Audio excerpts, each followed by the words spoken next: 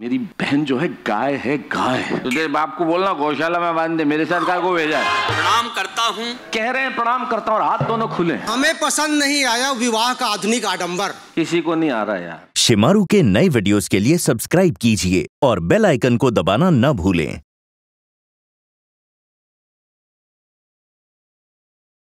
Seven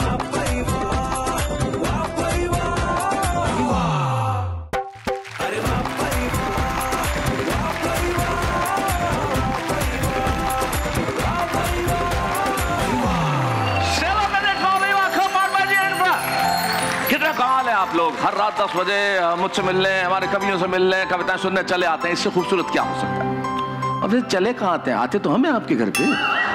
आप तो वहीं रहते हैं। लेकिन सबसे बड़ी बात है, आज के ज़माने में किसी का स्वागत इस उत्सुकता, इस उत्साह के साथ किया जाए, इससे बेहतर क्या हो सकता है? और करोड़ों लोग जिस उत्साह के साथ हमारे कार्यक्रम का स्वागत करते हैं, मैं आपके लिए कहना चाहता हूँ, आपकी मोहब्बत के लिए कहना चाहता हूँ, वाह! भाई, वाह! लेकिन ज़िंदगी में हर व्यक्ति स्वागत करे ज़रूरी तो नहीं है। कई लोग बड़े बेशर्म किसके भी होते हैं। तो जैसे एक साहब थे, वो काम वाम कुछ करते नहीं थे। उनका एक ही काम था। Little little. और घर में पड़े रहते थे। ये अलग सुख है। घर में पड़े रहने का एक अलग किस्म का सुख है। पड़े रहते थे, उनकी बीवी एक दिन आई गुस्से में। शर्म नहीं आती तुम्हें। घर में निखट्टू की तरह पड़े रहते हो। शर्म नहीं आती तुम्हें? ये मकान मेरे बाप का है। कपड़े मेरे चाची भेजती वो पहनते हो तुम। घर का खर्चा मैं नौकरी करके चलाती हूँ तुम्हें शर्म नहीं आती है बिल्कुल जरा सी भी? शर्म तो तेरे भाई को आनी चाहिए इसी शहर में रहता है कोई मदद नहीं करता है। नहीं सुधरते ना ऐसे लोग। तो उनकी साली जी एक दिन समझाया आके कि जीजा जी मानो मेरी बहन जो है गाय है गाय हम तारीफ़ में ऐसे ही कहते हैं। अरे गाय तो तेरे बाप को बोलना गौशाला में बाँध दे मेरे साथ काय को भेजा।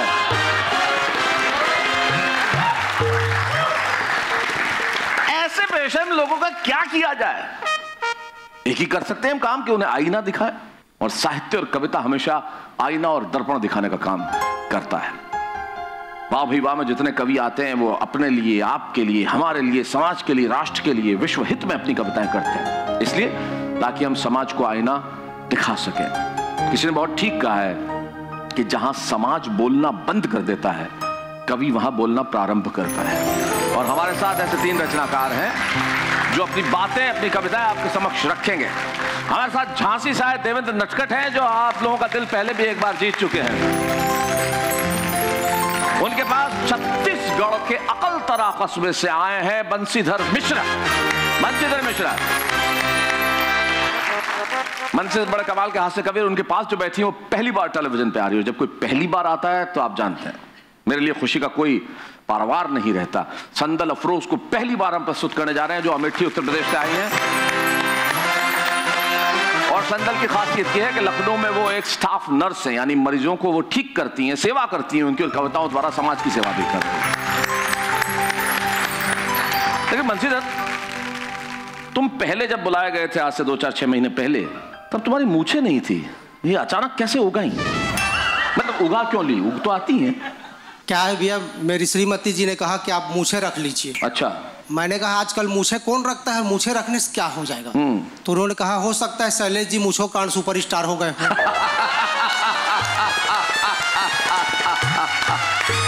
तो आइए महफिल में सबसे पहले मैं बुलाना चाहता हूँ उस कवि को जो थोड़ा सा नट खट है। लेकिन खे कमाल का। झांसी सा है देवेंद्र नटकर जोरदार तालियों से।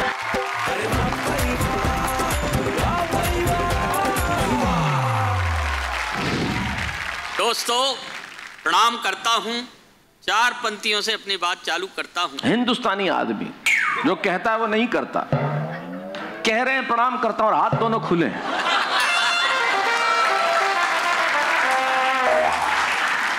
मियाँ ने पूरा मुर्गा चीथने के बाद मियाँ ने पूरा मुर्गा चीथने के बाद कटोरे भर दाल टेंटुआ के नीचे सरकाई। खाने की ये गंगा जमनी संस्कृति अपनी समझ में नहीं आई। हमने कहा मियाँ जी कमाल है कमाल। माल माल के बाद में दाल। ये क्या उगा रहे हैं? वे बोले नटखट जी मुर्गा भूखा था उसे दाना चुगा रहे हैं। मुर्गा भूखा था दाना चुगा बहुत अच्छे। गर्मियों में मेहमान और मेहमानों से परेशान। अच्छा। कैसे कैसे मेहमान हमारे घरों पे आते हैं आज हमारे भी आए हैं कुछ। कि गर्मी पड़ गई जून की गर्मी गर्मी पड़ गई जून की घर में बचाना चून। गर्मी पड़ गई आटे को बोलते हैं चून। गर्मी पड़ गई जून की घर में बचाना चून। चलो मित्र के घर चले रहता देहरादून। चलो मित्र के घर चले रहता देहरादून। और रहता देहरादून सुनो तैयारी कर लो। और सब रद्दी सामान पड़ोसी के घर धर दो। हाँ। सब रद्दी सामान पड़ोसी के घर धर दो। तभी किसी ने काल बैल का बटन दबाया। तभी किसी ने काल बैल का बटन दबाया और देखा सा परिवार मित्र मेरे घर आया। अच्छा बहुत बढ़िया। देखा सा परिवार मित्र मेरे घर आया। मेरे घर आया। हमने जल कर के कहा मित्र आफ्टरनून हम्म, हमने जलकर कर कहा। हमने जल कर के कहा मित्र आफ्टरनून ऐसी गर्मी में भला छोड़ा देहरादून। हम्म, ऐसी गर्मी में भला छोड़ा देहरादून। छोड़ा देहरादून मित्र मैं अभी बताता। और मेरे घर पे लगा हुआ आने का ताता। और देख देख के उनके रहने की वे शर्मी देहरादून में लागे रे चेन्नई सी गर्मी। देख देख के उनके रहने की वे शर्मी और देहरादून में लागे रे चेन्नई सी गर्मी। तो परसों विरदर आ गए इनके रिश्तेदार। परसों विरदर आ गए इनके रिश्तेदार।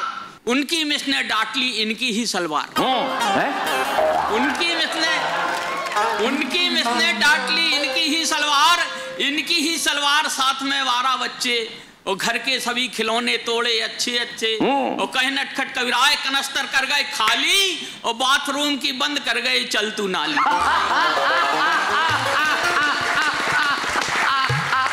अरे बहुत बढ़िया। कहे नटखट कविराए कनस्तर कर गए खाली और बाथरूम की बंद कर गए चल तू नाली। तो केवल घर में ही नहीं था उनका उत्पात। हम्म, केवल घर में ही नहीं था उनका उत्पात। पूरा मोहल्ला में हुए जल्दी वे विख्यात। जल्दी वे विख्यात एक की डिस्क काट ली। हम्म, डिस्क कनेक्शन। जी। एक की डिस्क काट ली और दूजे ने पूरी डिब्बी विक्स चाट ली। हम्म, और दूजे ने पूरी डिब्बी विक्स चाट ली और जाते जाते भैया जी उपकार कर गए और नगद 500 मेरे नाम उधार कर गए। क्या बात है वाह। नगद 500 मेरे नाम उधार कर गए तो चंद रोज में हो गया उनका जग व्यवहार। हम्म, जो लोग हमें नहीं जानते थे उन्हें जानने लगे थे। हाँ। चंद रोज में हो गया उनका जग व्यवहार। उच्चे टुच्चे बन गए उनके पक्के यार। उनके पक्के यार छोड़ने पहुँचे स्टेशन ऐसे जुड़ा हुजूम जैसे जा रहे बाइडेन। हाँ। ऐसे जुड़ा हुजूम जैसे जा रहे कि जैसे जा रहे बाइडन। और देख ट्रेन को देख ट्रेन को भैया जी की औज खो गई और वो तो चढ़ गए। आधी उनकी फौज रह गई। हम्म, वो तो चढ़ गए। आधी उनकी फौज रह गई। तो सीटी मारी रेल ने मेरा दिल घबराए। सीटी मारी रेल ने मेरा दिल घबराए। और बिरदर खिड़की से निकल बोले ओके बाय। बोले ओके बाय नमस्ते सबसे कहना। नमस्ते सबसे कहना। कहना और बच्चों को कल साथ किसी के भिजवा देना। नमस्ते सबसे कहना। और बच्चों को कल साथ किसी के भिजवा देना और थोड़ा बहुत कष्ट होगा वो हम सह लेंगे और स्टेशन से बच्चों को रिसीव कर लेंगे। वाह। तो भैया बिल्कुल झूठ है। ये कलयुग है साहब। कैसे कैसे मेहमान आ रहे हैं हम्म, कि भैया बिल्कुल झूठ है है अतिथि भगवान। मेहमानों के भेष में थे पूरे शैतान। हम्म, मेहमानों के भेष में थे पूरे शैतान। थे पूरे शैतान और थे पूरे शैतान। काम सब ब्रेक हो गए और बबलू के पापा तब से क्रैक हो गए। और बबलू के पापा। और बबलू वाह के वाह वाह।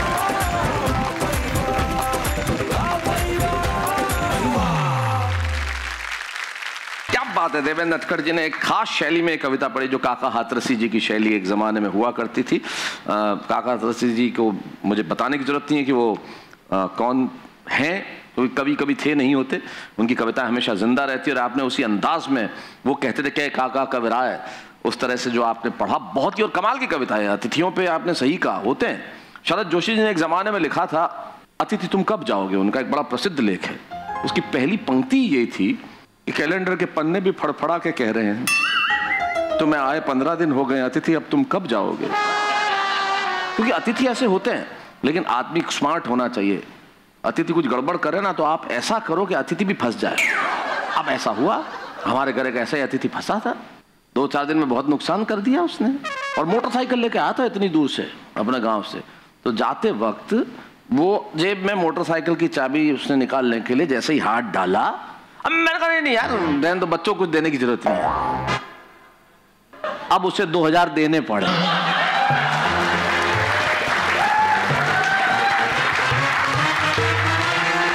तरीका होना चाहिए ना अतिथियों से निपटने का। लेकिन अगर हम गंभीरता से सोचे तो वो जमाना चला गया जब हम आगत का स्वागत किया करते थे। घरों में उम्मीद रहती थी कि कब कौन आएगा। मुझे अपना बचपन याद आता है और ऐसा बचपन आज भी होगा? कहीं ना कहीं ज़रूर होगा। कि हमारे पास कुछ भी नहीं था। बहुत अभाव थे। और सोचा भी नहीं जा सकता था कि हम किसी होटल तो छोड़िए, धर्मशाला में भी ठहरे। तो उस जमाने में लोग किसी जगह जाते थे या कहीं जाने का काम हो जाता था तो लोग अपने रिश्तेदार ढूंढते थे। रिश्तेदार न मिले तो रिश्तेदारों के रिश्तेदार ढूंढते थे। मोहल्ले के किसी आदमी का रिश्तेदार ढूंढते थे उसके घर जाके ठहर जाते थे, और जो ठहराता था, उसे भी कोई दिक्कत नहीं होती थी। क्योंकि तब हम पूरा मोहल्ला एक परिवार होता था।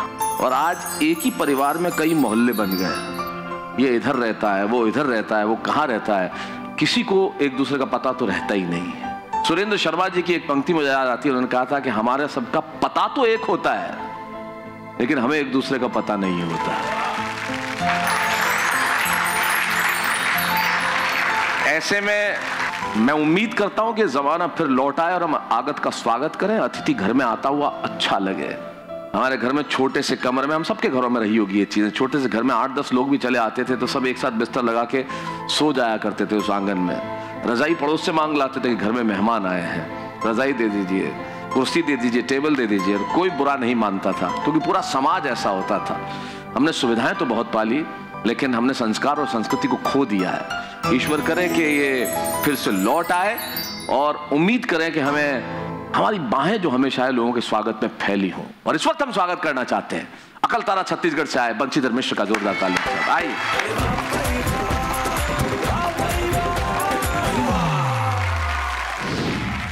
वाह भाई वाह के इस खूबसूरत मंच को प्रणाम करता हूँ और चार पंक्तियाँ भी आपको समर्पित करता हूँ मैं। कि मैं नहीं कहता कि मुझे भरपूर मिला है। मैं ये नहीं कहता कि मुझे भरपूर मिला है पर जितना ज़रूरी है ज़रूर मिला है। वाह। पर जितना ज़रूरी है ज़रूर मिला है। माना कि सफ़र में कोई मुझे जानता नहीं पर रहनुमा हमें मशहूर मिला है।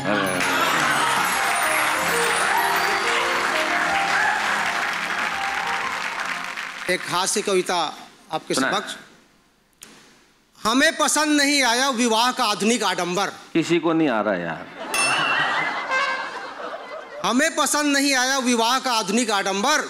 मैंने सोचा मैं तो रचाऊँगा अपना स्वयंवर। ये हुई कॉन्फिडेंस वाली बात। हाँ। मैंने सोचा मैं तो रचाऊँगा अपना स्वयंवर। दूसरे दिन शहर भर में विज्ञापन के पोस्टर लगवाए। इस खूबसूरत हैंडसम स्मार्ट कवि से विवाह की इच्छुक युवतियाँ आवेदन लाए। ये है बात वाह। आवेदन लाए। पोस्टर बनाने वाले ने भी अपना हुनर जम के दिखाया था। और मेरे तस्वीर को हॉलीवुड के सुपरस्टार की तरह खूबसूरत बनाया था। खूबसूरत बनाया था। दूसरे दिन शहर भर में मच गई होड़। लड़कियाँ आवेदन लेके दौड़ने लगी अपने अपने घर का काम छोड़। पूरे शहर में मच गया कोहराम। गली और सड़कें होने लगी जाम। मैंने अपील किया। मैंने अपील किया कि एक घर से एक ही आए। ये बहुत बढ़िया यार। मैंने एक ही आएगा। मैंने अपील किया एक से एक ही आए धक्का मुक्की ना करे लाइन लगाएँ। हाँ। पूरे इलाके में मेरी खूबसूरती के चर्चे थे। अरे।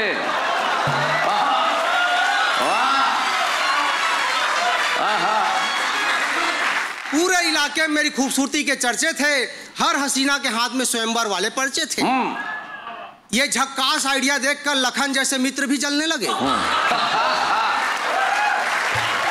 ये झक्कास आइडिया देख लखन जैसे मित्र भी जलने लगे और हमारे दिमाग में प्लान क्यों नहीं आया? सोच के हाथ मलने लगे। खैर नियत तिथि पे स्वयंवर वाला दिन आया। नियत तिथि पे स्वयंवर वाला दिन आया। दिल थोड़ा उछला थोड़ा घबराया। जैसे ही मैंने स्वयंवर कक्ष में किया प्रवेश पहन के कुर्ता पायजामा और टाई वाला ड्रेस। कुर्ता पायजामा और टाई। वाह। पहन के कुर्ता पैजामा और टाई वाला ड्रेस लड़कियाँ मुझे देख के हैरानी से सोचने लगी। लड़कियाँ मुझे देख के हैरानी से सोचने लगी। अरे पोस्टर वाला कम वक्त यही है सोच के माथे एक पसीना पोछने लगी। तभी एक लड़की चिल्लाई तभी एक लड़की चिल्लाई चीटिंग फ्रॉड धोखा। तभी एक लड़की चिल्लाई चीटिंग फ्रॉड धोखा। उसके बाद सबने मिलके मुझे जम के ठोका।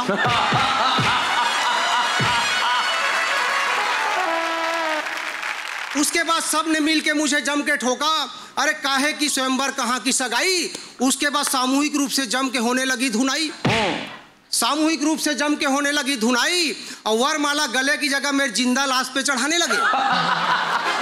वरमाला गले की जगह मेरी ज़िंदा लाश पे चढ़ाने लगे, और जाते जाते श्रद्धांजलि स्वरूप एक लात लगाने लगे।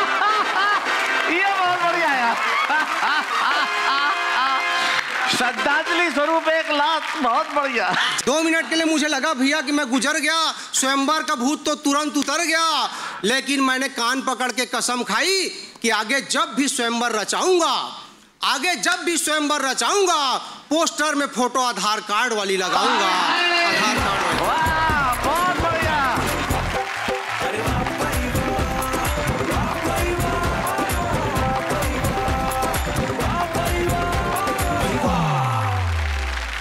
बंसीधर मेरा बड़ा प्रिय छोटा भाई है, इसे पहली बार टेलीविज़न पे कुछ समय पहले हम लेके आए थे ढूंढ के।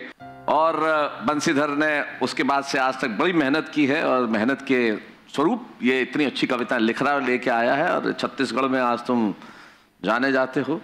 इनकी एक कविता जो है, वो इनके मरने वाली कविता, वो मुझे लगता है बड़ी छत्तीसगढ़ के हर फ़ोन पे वो होगी वो कविता। और, वाह भाई, वाह में पढ़ने के बाद बंसीधर सारे देश के हो गए। मैं तुम्हें बधाई देना चाहता हूँ बंसीधर इस बात के लिए। अब हम सुनना चाहते हैं उसे, जो पहली बार कैमरों के सामने टेलीविज़न पे अपनी कविताएँ पढ़ेंगी। और नई प्रतिभा जब आती है तो बहुत खुशी मिलती है आपको भी, मुझे भी। मुझे इसलिए कि हमारे कविता का जो वृक्ष है, उस पर नई कोपलें आ रही है और नए अंदाज से अपनी कविताएँ कर रही है। तो हमारे बीच में आ रही हैं जो मूलतः है। एक नर्स का काम करती है लखनऊ में, लेकिन अमेठी की रहने वाली है। नाम है उनका संदल अफरोज, जोरदार ताली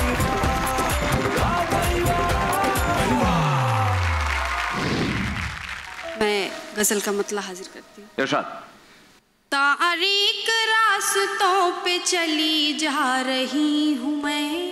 तारीख मतलब अंधेरा तो अंधेरे चली जा रही हूँ मैं। तारीख रास्तों पे चली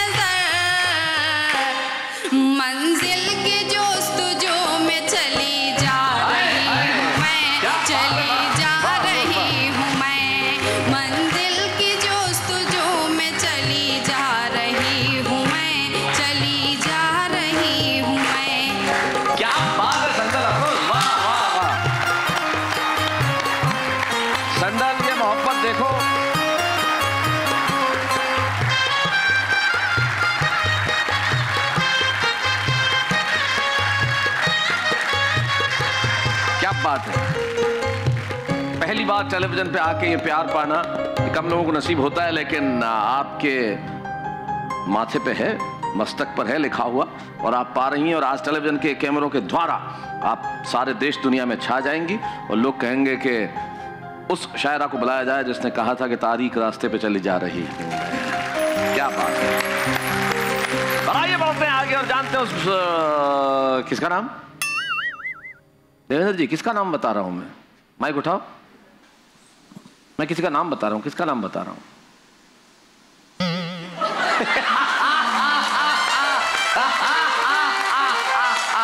ये है पक्का हिंदुस्तानी आदमी।